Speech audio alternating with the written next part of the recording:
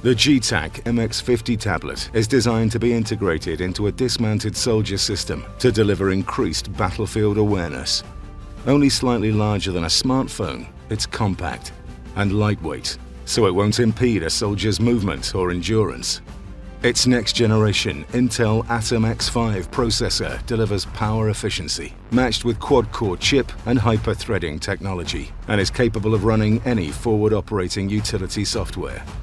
The MX50 is certified to military standards of ruggedness. It can look after itself, so you don't have to. Resistant to temperatures from minus 21 degrees C to 60 degrees C. And water resistant, so the MX50 can operate in any environment you can.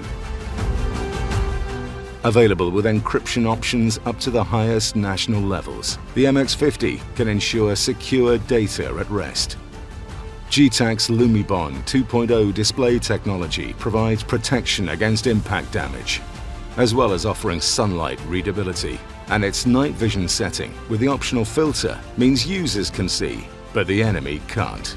The MX50 can also be used independently from the Soldier system with the addition of the Snapback expansion battery to extend operating time.